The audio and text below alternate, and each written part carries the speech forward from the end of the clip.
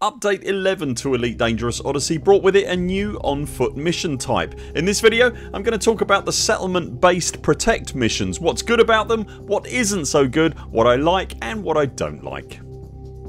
To make sure you don't miss any of our videos hit like and subscribe and remember to click the little bell icon and select all notifications and if you'd like to help directly support this channel you can also join our Patreon via the link in the video description.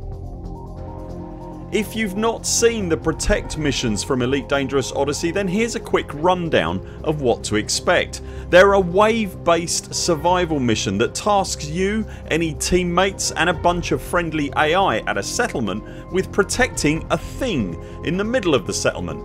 Not the settlement itself but a somewhat random cargo item this mission enabling MacGuffin is about to be assaulted by waves of AI troops that have taken great exception to the MacGuffin's existence. They're not interested in stealing the cargo, oh no that's not enough, they want it dead. So egregious is the existence of this MacGuffin in fact that they're willing to deploy multiple dropships carrying wave after wave of heavily armed troopers all willing to give up their own existence just to see this small collection of cargo canisters erased from the universe. Whatever these cargo canisters did it must have been quite bad. A few seconds after arriving at the settlement the dropships will start spawning in each dropping 6 bad guys at a time. They're dropped in similar fashion to the troops arriving at a conflict zone at a seemingly random spot in the middle of the settlement somewhere at which point they'll start making their way toward the MacGuffin canisters of doom. If they're not stopped they'll open fire on the weird trolley thing that houses the Devil's Own cargo canisters which will be destroyed in fairly short order thereafter.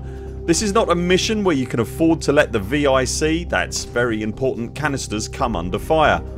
After a few waves of cargo killers have deployed and been mowed down the bad guys seem to consider that their beef with the canisters of darkness is just not worth the price and they give up their quest to send them to their maker.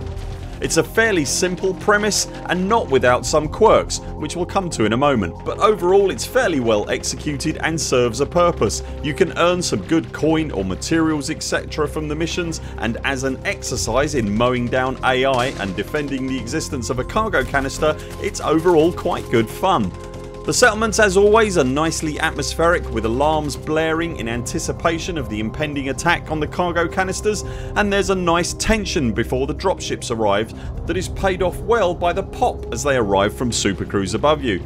In making their way through the settlement the AI banditos will often funnel through some nice choke points and if you can time it right there's quite often a fairly ferocious exchange of fire at those choke points more often than not as well there will be a frantic search to find the last guy from the dropship still alive before the next ship arrives with its hold full of cargo hating desperados. Do this a few times and the mission ends. I have enjoyed the missions on the occasions that I've done them but honestly I don't personally find myself compelled to run towards them. Even if they have a material reward that I'm after if I can get that reward another way then I tend towards the other way generally and that got me thinking as to why that is. What is it about the defend the box missions that feels like trying to push the identical poles of a pair of magnets together? After giving it some thought I came to the conclusion that it's not one particular issue that I have but rather a few small issues that, combined, tend to make the missions just feel a bit off. Without a doubt one of the bigger problems I have with them is simply the premise. The MacGuffin itself is incredibly contrived the MacGuffin is so obviously a MacGuffin, a constructed reason for the bad guys to turn up and get shot that it feels at odds with the rest of Elite Dangerous. Everything in Elite is, for the most part, in existence in spite of you. It all carries on about its business whether anyone is there or not. In fact that, for me, is one of the great appeals of the game. Wars are fought and lost and Empire's influence can ebb and flow regardless of whether I participate or not, regardless of whether anyone participates in fact. The box of hatred at a settlement however has its content spawned just for me if I accept the mission. Don't get me wrong I know a bunch of stuff gets spawned in Elite just for you if you accept a mission, planetary POIs, distress signals or notorious pirates but that stuff all feels part of the universe. Yes it was spawned for you but you can believe that if it wasn't it might have existed anyway. The canisters in a protect mission however don't feel like that. Their existence in the place that they're in makes no sense. They're not moving anywhere, they haven't been anywhere, they just pop in when needed specifically with the sole purpose of being shot at.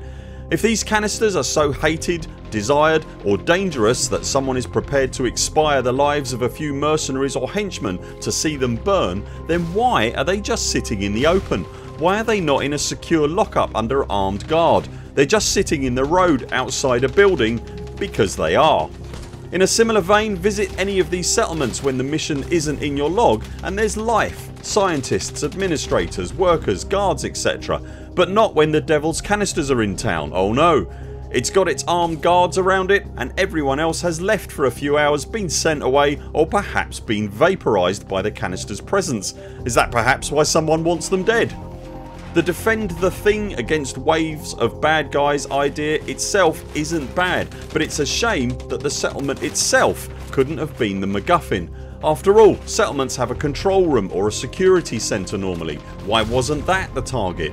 It would certainly make more sense than someone travelling interstellar distances to kill a box. If you are going to have a cargo canister trolley to defend either put it in the warehouse buildings or even better have it moving from a landed cargo ship to the warehouse under armed guard rather than just arbitrarily plonked into the middle of a settlement. Update 12 is due sometime between now and the end of the month that too is bringing with it a new mission type. As of this recording nothing is known about that mission type but I'm hopeful that Frontier are able to integrate the mission into the background a bit more this time and make it feel a bit more like part of Elite's greater galaxy and not just that you'd entered a first person shooter online server when some fool voted in the defend the box map. Have you tried the protect missions? What do you think? What missions would you like to see added? Let us know in the comments below. That's it for now. Thanks very much for watching. If you enjoyed this video consider subscribing to the channel and maybe take a look at one of our other videos linked on screen right now.